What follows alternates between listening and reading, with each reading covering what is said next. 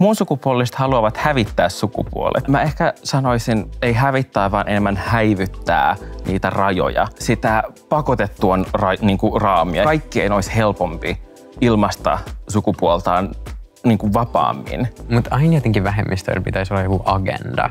Mutta kenellä tässä on agenda, koska tavallaan maailman mittakaavassa niin kuin valkoinen vähemmistö on silleen pakottanut agendaa niin kuin ympäri maailmaa ja niin kuin nimenomaan sukupuoliagendoja. Ja... Ei mua kiinnosta muiden ihmisten sukupuoli. Ei mua kiinnosta, miten muut ihmiset kokee niiden sukupuolen. Kunhan sä tuu niin kuin mulle aukoo päätä asiasta, niin live your life. Toi vähän kuulostaa sellaiselta niin kuin, transfobisten ihmisten niin kuin epävarmuudet omasta sukupuolesta. Et kun sitä ei ole, omaa sukupuolta ei ole koskaan tutkinut, niin sitten tulee ehkä se pelko siitä, että niin kuin, ne nyt mun sukupuolen tästä.